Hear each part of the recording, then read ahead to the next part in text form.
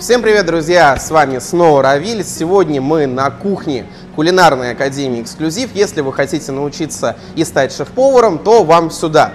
Здесь мы сегодня не просто так. Сегодня я снимаю пилотный выпуск своего первого шоу «Готовим вместе с Равилем». И, как вы знаете, я еще помимо того, что занимаюсь кулинарией, еще играю в хоккей в супер офигенном клубе, который называется «Трудовик». Поэтому у нас сегодня такая коллаборация. Вот я приглашаю сюда своих друзей, с которыми играю, просто интересных людей. И сегодня мы приглашаем нашего первого гостя Михаила Хованцева, а.к.а. продюсера, у которого есть прекрасное шоу на ютубе, которое называется «С дивана». Он нам много сегодня что расскажет, поэтому давайте поприветствуем Миша Хованцев.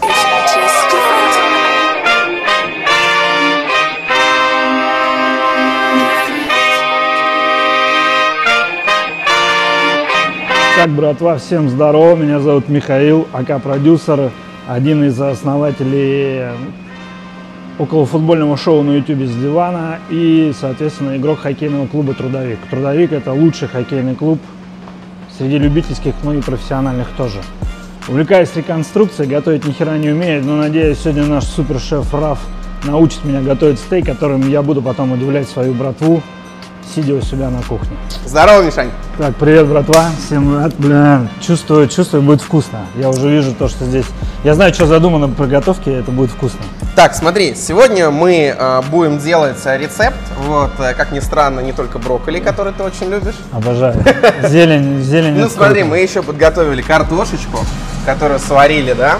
Можно варить разными способами. Вот, мы сварили вот в такой чудо-печке, но в целом это можно сделать просто на плите. Как варить картошку, я надеюсь, вам, господа, не надо рассказывать. Вот, все очень просто. Главное, Поэтому, помойте ее хорошо. Да, вот у нас сегодня вот таких будет два гарнира. Дальше будем использовать чеснок. Дальше будем использовать мясо. Вот такое вот, да. Стейк, пиканье. Вот. И, конечно же, будем использовать сливки. Будем использовать черный молотый перец. Вот такой вот. Пахнет, прям. кстати, офигенно, прям офигенно. свежий. Свежий перчик пахнет вкусно. Соответственно, Мясо, перец это офигенное сочетание. Конечно, будем использовать бренди. Какая же французская кухня без, без бренди? бренди? да. Так а мы в итоге что готовим финально? Как называется? Вот смотри, а, мы сейчас выставили вот эти все продукты, и вот как ты думаешь, а, могу, можно ли из этих продуктов сделать а, рецепт французской кухни? Блин, ну, наверное, можно, раз ты мне задаешь такие вопросы. Мне вообще на самом деле главное, чтобы мясо было вкусно пожарено, было офигенно этот. А французская это кухня или нет, это уже... Ну смотри, ты увлекаешься исторической реконструкцией, вот, да, причем, пятый кирасирский да, полк. Да, причем э, как бы историей Франции, вот, поэтому, как бы, посмотря на это все, побывав на фестивале «Времена и эпохи», ты меня с ним познакомил, очень классно, спасибо тебе, а, я решил сделать что-то французское. Но, на самом деле, многие думают, что французская кухня это что-то очень сильно возвышенное, но на самом деле это достаточно ну, да, да. простые рецепты, которые можно приготовить у себя дома. А, сегодня мы будем делать pepper steak. Да. Pepper steak. Pepper steak. Вот, кстати, как на французском а, будет э, pepper steak? Так и будет, наверное. Я не знаю. No pepper steak. La Big Mac. La pepper steak. В общем, а, будем готовить его. Это достаточно простой рецепт. На самом деле для него по классике у кого-то сейчас возгорится жопа а, из моих коллег, что типа пепперстейки я буду делать из пикания, а не из филе миньона. Вот, но времена трудные, поэтому... А, то есть как у вас сейчас это, да? Да, мы вместо филе миньон взяли пиканью. На самом деле от этого она будет ничуть не хуже, а вы, дорогие слушатели, да, наши зрители, сможете это приготовить дома достаточно бюджетно и получить от этого удовольствие. Ну, то есть но... я же правильно понимаю, что все вот эти ингредиенты, вот это мясо, картошка, ну картошку понятно, мы можем купить в обычном магазине. Абсолютно посмотреть твое видео. Да, и сделать у себя то же самое дома. Вот, поэтому я как бы перечислял все продукты, да, то есть картошка, чеснок, брокколи, перец молотый, сливки вместо вот такого Тороса 5 лет мы можем взять просто обычный коньяк э, Кизляр. Вот, Киз, и, Кизляр, да. Да, Три, будет три звезды. Да, но на самом деле, смотри, осталось еще пара вещей, которыми мне нужно тебя одарить для того, чтобы это действительно была кухня и действительно была французская кухня. Поэтому сейчас я тебе их принесу. Давай. Это что-то, я, блин, я даже, наверное, знаю. Вот и я. Смотри, а, первое, что сразу хочется для французской кухни, это вологодское масло.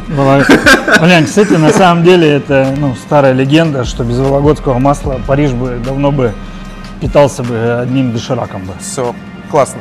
Смотри, дальше это крутой черный фартук. Вот, потому что черный фартук это всегда стильно.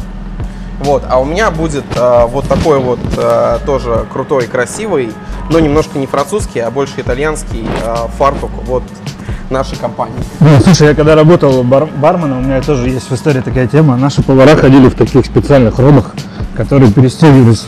Сначала Китель. ты китель, да, ты носишь на одну сторону, потом ты ее запачкал, на перевернулся, да. и- Слушай, а я для этого, знаешь, что делал? Я, короче, смотрите, ребят, лайфхак. Берете фартук вот такой полный, у тебя Ага. есть красивая сторона с кармашками, Да. а есть задняя сторона некрасивая. Вот ты когда готовишь много, переворачиваешь на заднюю сторону, а когда выходишь в гости или общаешься, Ты такой, одеваешь на аппаратную.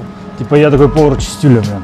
Да, повар чистюля. А, смотри, а, короче, что мы делаем? Во-первых, а, я тебя сегодня хочу познакомить с такой историей, как сковородка. Вот, но не просто сковородка. Знаю, получал. Да.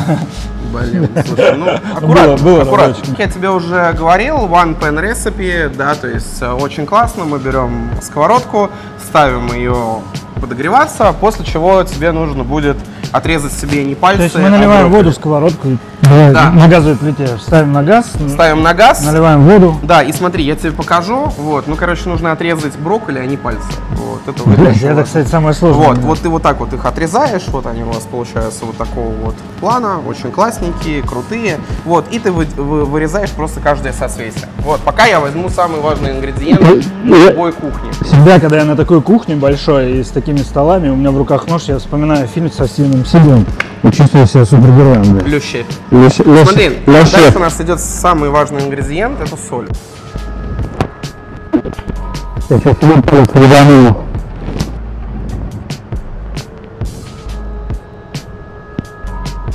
Это хорошая щепотка соли считается. Да. Посолили воду. Разместился за кадром, а, для того, чтобы вам показать всю нашу подноготную. Вот мы берем и брокколи закидываем в водичку. И это совершенно новый формат, в котором у вас вроде бы два гостя, но заставляю я работать только Мишу. Это рабовладельческий формат. Да, Его уже и- и отменили являюсь давно. голосом, голосом за кадром. Голос за кадром. Все, классно. А, Поставили сюда вариться брокколи. Варятся они у нас 7 минут. Вот, свеженькие. А рядом с ним мы можем а, поставить прогреться картошечку. А Вот прогресс прям туда. прям туда можно? Да, брать? прям туда. Наверное, надо это делать, это, да? Ну, как шеф-повар там все Ля, ля шеф-повар. Ля шеф-повар. Все, супер классно. Короче, у нас уже тут кипит бурда наша, картошка с этим, с брокколями. Так, брокколи закинули в воду с картошкой на сковородке. Да, короче, мы вернулись к формату, что я вернулся к вам в кадр, ребят. Вот, показали, как Миша классно работает. Теперь я немножко покажу, как классно я работаю. Так, сразу оговорюсь, чтобы никто мне э, не напихивал в комментарии за то, что вы не готовите в перчатках, вы не готовите в кителях. Ребят, мы не готовим на общественной кухне, мы готовим для, Для себя, да. да, поэтому я могу здесь готовить хоть голый. В общем, смотри, мы очищаем чеснок. Да, очищаем его вот так вот просто. Мы его давим и вынимаем. Вот, все, чеснок мы подготовили. Три Да. зубчика нам Жо- должно жо- хватить. А жопки надо обрезать честно? А, слушай, жопки не обязательно. Вот, а на самом деле, что нам сейчас нужно будет сделать? У нас а, брокколи сварились, да, Да, то есть да. как бы мы берем вот такую штучку, да, можно ее поставить сюда, чтобы все видели, и перекладываем наши овощи, которые у нас уже приготовились. Ну все, и картошку тоже, да, забираем? И картошку, и брокколи, все классно. Опять-таки повторюсь, что картофель мы отварили до этого. Вот, сейчас мы сварили только. А его варили до полуготовности? или Слушай, мы его варили практически до готовности, вот, и в целом мы просто его подогреваем. И здесь как бы работает какая история, ребят, чтобы ваши овощи были вкусными, их прогревать либо варить нужно с большим содержанием специй, в том числе соли, да, и, э, например, можно добавлять туда бульон. Вот в этом, например, есть кайф э, французской кухни, да, почему? Потому что они как раз используют у нас э, бульоны. Поэтому мы делаем вот такую штуку, все, у нас гарниры наши готовые, мы их просто потом прогреем, поэтому можем их отставить немножко в бок. Да, дальше мы берем, выливаем нашу водичку. Вот, поэтому, как бы, как я уже говорил, one pan recipe, да, то есть э, рецепты в одной сковородке. То есть ты в них отварил, грубо говоря, овощи, дальше можешь заниматься мясом, чем мы сейчас и займемся. А сейчас мы подготовим мясо. Чуть-чуть поставим нашу индукцию поближе. Соответственно, сковородочка у нас все готово. Нам единственное, что нужно будет масло. Да, масло мы будем использовать а, простое, так, дезодорированное. Вот. Ну, все, вот, обычное Кра- подсолнечное красная, масло. красная цена в пятерочке подойдет? Да, абсолютно. Только ее и берем. Так, короче, смотри, а, мы сейчас сначала подготовим стейк, а потом будем его жарить. Для того, чтобы подготовить стейк, нам что-то нужно просто взять, куда стейк нам положить. Смотри, дальше что мы делаем? Мы открываем, да, наш стейк. И когда мы разговариваем про пеппер стейк, да, то есть, ну, из названия, наверное, понятно, что типа он будет у нас с перцем, да. Да. Поэтому мы выкладываем, да, Это уже вкусно. Я вообще без мяса, я не понимаю людей, которые не едят мясо. Смотри, а, можем его промокнуть, можем не промокнуть. Тут как бы каждый для себя в целом решает сам. Вот, кто-то говорит, что это надо обязательно делать, кто-то говорит, что не надо. Это, короче, также, э, знаешь, типа, когда нужно солить стейк. Вот я, типа, всегда его солю перед тем, как э, его жарить. Кто-то Ага. говорит, что... После. Да, нужно после. Это все, на мой взгляд, полная вкусовщина. То есть мы не промакиваем. Нет, мы не промакиваем, мы вот так вот его посолили. Хорошо. Вот так вот. Дальше что мы делаем? Мы можем взять либо перец немолотый помолоть его Да, это в мельнице, да, либо мы можем взять вот такой уже крупный. Крупного помола, да? Да, и что мы делаем? То есть пеппер стейк у нас солится с двух сторон, а перец мы насыпаем только с одной. Причем насыпаем мы его прям вот так вот хорошо. Почему я не промакиваю? Потому что вот если бы я сейчас промакнул, да, то ну, хуже бы просто было. Да, я- Приклеились да, я бы попробую, да. специи. Вот, поэтому смотри, вот один делаю я, Мгм. а второй делаешь ты. Прям э, Да, нормально. прям, прям, прям вот так вот. Это чтобы потом жопа горела, блядь. Абсолютно. Это, это- Нормально? Смотри, босс. Да? Бля, перца очень много. Очень много. Все. Если- Добавили перец. Запах пушка. Дальше что мы делаем? А, давай покажем прям зрителям, что у нас получилось. Вот такая вот штука. Все достаточно просто. Посолили, добавили перца. А, теперь начинается самое интересное. Мы начинаем его жарить. И здесь у меня к тебе есть один вопрос. Пока разогревается наша сковородка. Как ты попал в команду Трудовик? Вот, что тебя привело и как бы вообще в целом какая была история? Слушай, мы это все просто, я как бы там давно в детстве играл в хоккей. А, приехал на дачу, нашел свою старую хоккейную форму, думаю, блин, надо поиграть в хоккей. В Москве, кстати, очень, благо, очень много любительских команд, в которые вы можете без проблем вписаться, и везде всех принимают, там никаких проблем нет. На, на одних съемках нашего проекта с дивана а, в зрительном зале сидел один наш игрок, Серега Кот. Большой Мгм. тебе привет, Сем. Здорово, И мы чуть разговаривали с ним про хоккей, и он говорит, э, э, что давай к нам, есть команда Трудовик, с ней там, я говорю, Серег, я трехногий, не умею кататься, играть в хоккей, он говорит, ну там есть физрук, так что место ты себе точно найдешь. Ну и так и познакомил меня с Серегой Евтеевым, нашим капитаном. Мы с ним списались, я приехал на первую тренировку и реально офигел от той крутой атмосферы, которая у нас в раздевалке творится. То есть, если вы любите хоккей и вам нужна... Болейте за Трудовик. Да, вам нужна атмосфера, и вы хотите поиграть, то записывайтесь к нам на тренировки. Да, кстати, э, небольшая реклама еще нашего клуба. А, Действительно, для разных уровней у нас э, разные команды. У нас есть ОБЖ, у нас есть трудовик и физрук. Вот, в целом каждый может себя попробовать. Мы даже даем форму бесплатно. Ну, какие-то вещи, раза, да, да, покататься. Вот, а, клуб не просто людей по интересам, а а, клуб людей с очень классными задачами. То есть мы и благотворительностью занимаемся, да, и как бы хотим вообще двигать, развивать, как и Знаешь, мне нравится, спорт. что Да. э, как бы ну, очень много любительских команд, где люди играют за деньги, ну, за спонсорские деньги. Да. В нашем клю- клубе в первую Нет очередь спонсоров. Да, нет спонсоров. Хотите да. стать нашим спонсором, Да. пишите в комментариях. Но в первую очередь люди играют за идею какую-то, за движуху. То есть там ну, безразличных в команде нет. И а если Это люди да. приходят и не остаются, значит им такая Ну, движуха да. неинтересна. А, смотри, дальше что мы делаем? У нас сковородка начинает, видишь, разогреваться и потихоньку идет дымок, да? А, вопрос у меня к тебе. А, у тебя с собой зажигалка есть? Не, я же не курю. Надо зажигалку. Классно, чуваки. Все. Для чего? Объясню потом.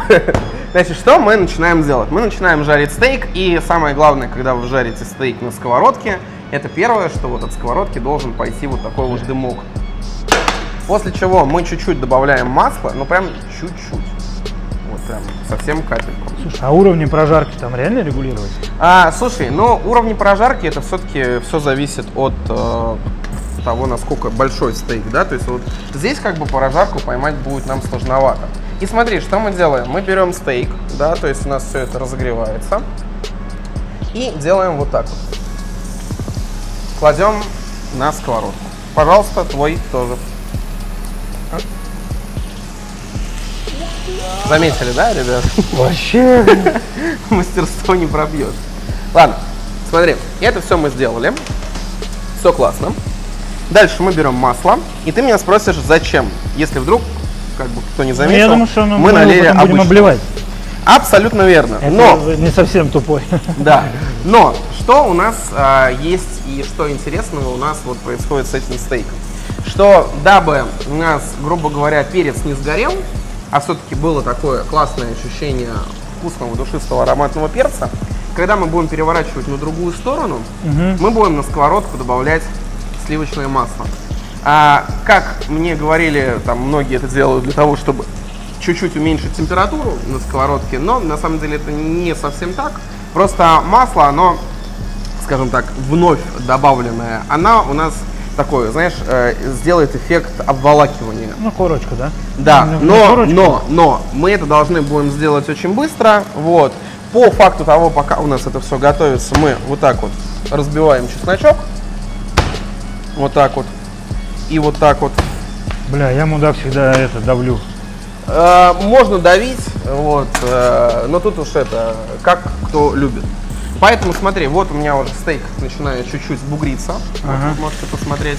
Бугрица, бля. Да, ну то есть деформироваться. Я могу чуть-чуть его вот так вот посмотреть. И в принципе он очень даже неплохо себя чувствует. Давай я, кстати, зайду с другой стороны, ты прям покажешь. Здесь все дымит, запах сумасшедший. Мы смотрим. Вот он. О, отлично. Да, вот он. Мишань, Ага. смотри, берешь, отрезаешь большой кусок масла. Настолько? Ну нет, чуть поменьше. Вот, да. Ага. Прям отрезаешь, Ага. кидаешь его вот сюда. Посередине? Да. Блять, давай. Все, и кидаешь чеснок. Отлично. Бля, я После при- чего давай переворачивай стейк. просто беру, Да, и просто переворачиваешь. Все. И снимаешь с плиты. снимаю с плиты. Да? И куда? Сюда просто, Да? да? Теперь что мы делаем?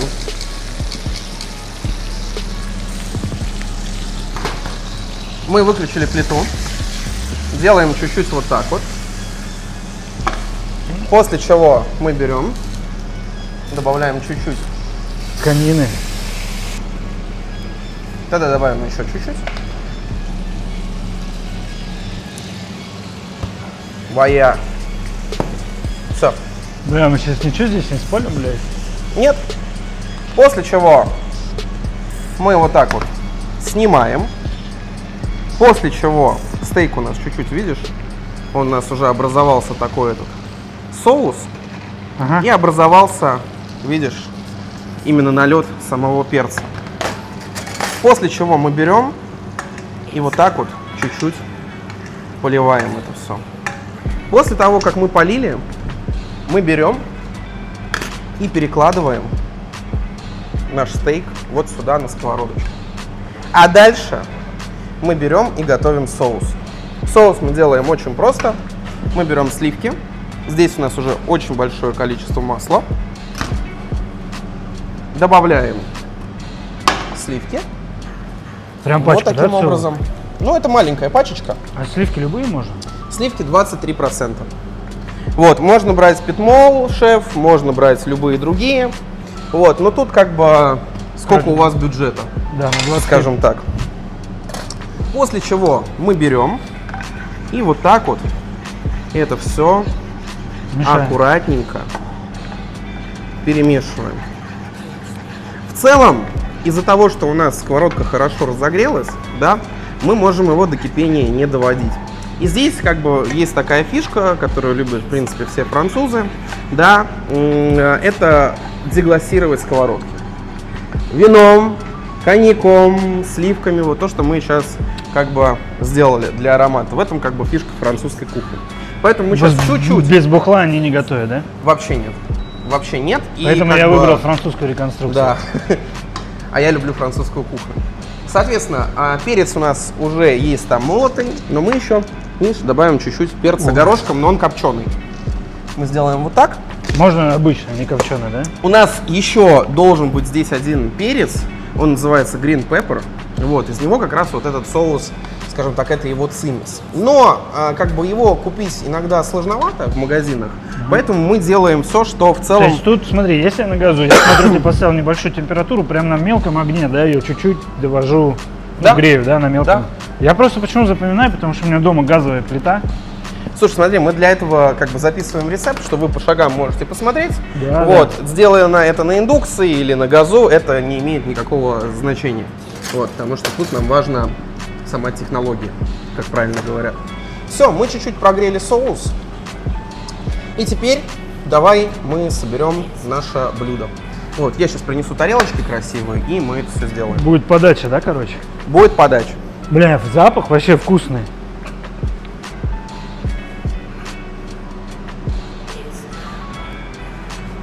Итак, я вернулся. Берем мы вот такую тарелочку.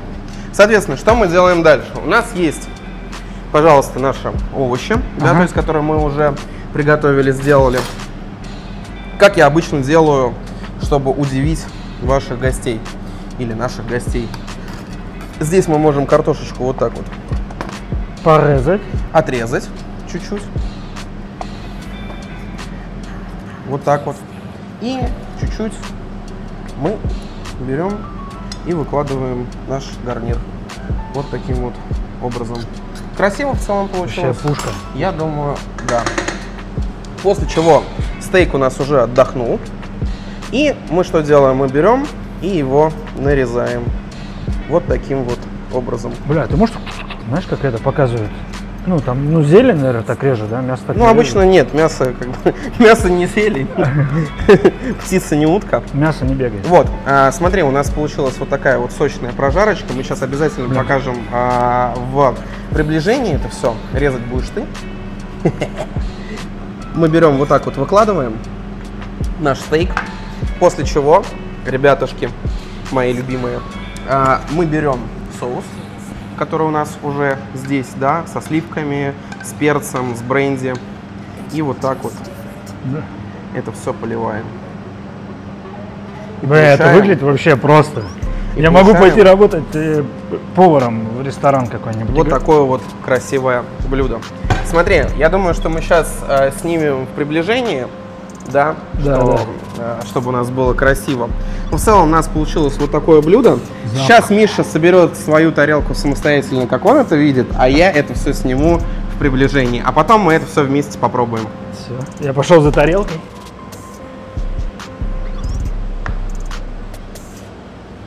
Чего такого нету? Сколько там брокколи, В кухне это и есть импровизация. да? Вот так вот. Я не умею красиво укладывать, но я как бы для себя это делаю, так что мне лишь бы вкусно было в первую очередь.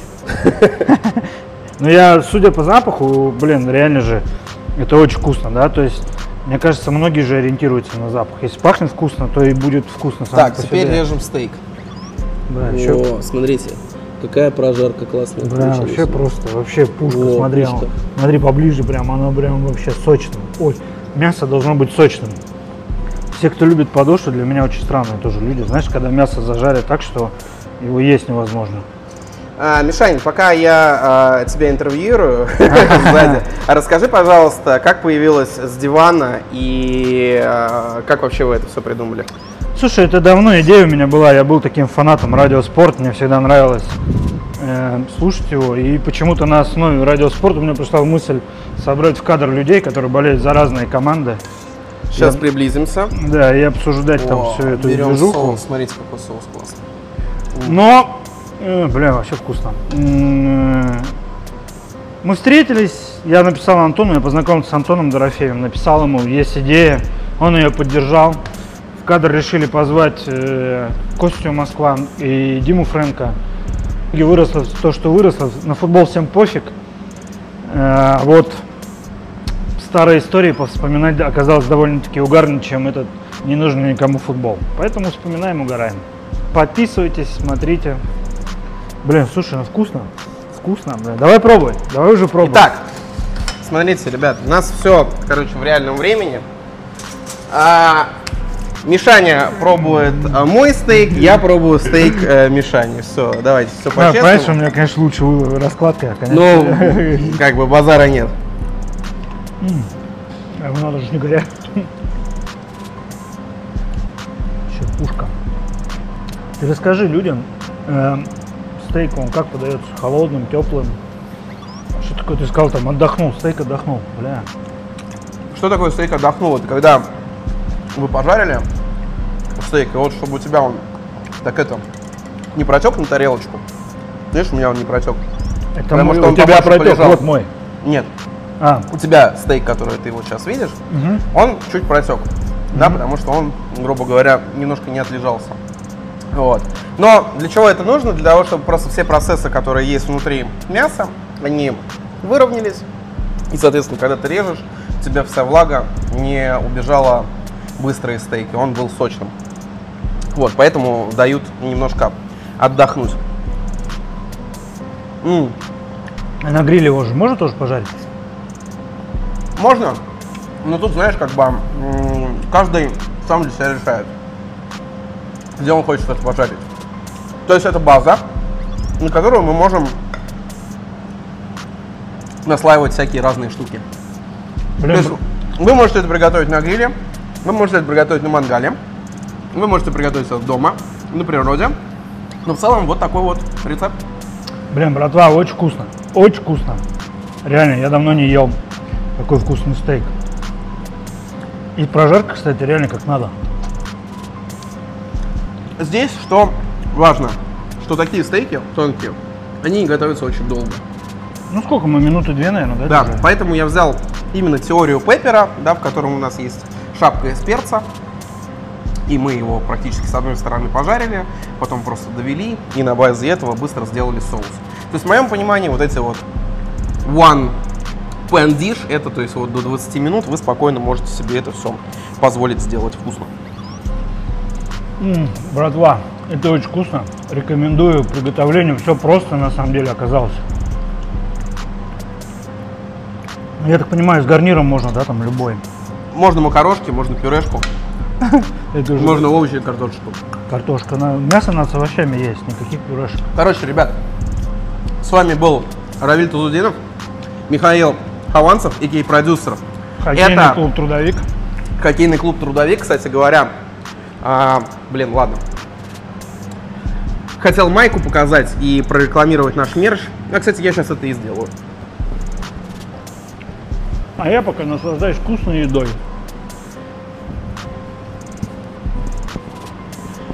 А, минутка продукт плейсмента. А, ребят, а, все, кто хочет, могут приобрести вот такие классные майки, толстовочки, кепки, которые есть а, у нашей команды. Болейте за трудовик, а, вкусно готовьте и получайте от жизни удовольствие. С вами был Равиль Тазудинов, Михаил Хованский. Хованцев, да. Хованский, Хованцев. Хованский. Михаил Хованцев, да. Спасибо, парни, было вкусно. Надеюсь, что этот пилотный выпуск вам зайдет. И если да, то мы улучшимся и по качеству съемок. Ну, Равиль улучшится и по качеству Да. съемок. И И по качеству всего. Слушай, дядь, ну 400 рублей. два стейка, да? Да. Типа филе миньон, ну, много. Где ты покупаешь? Перекресток, азбука, ну то есть это вообще везде есть.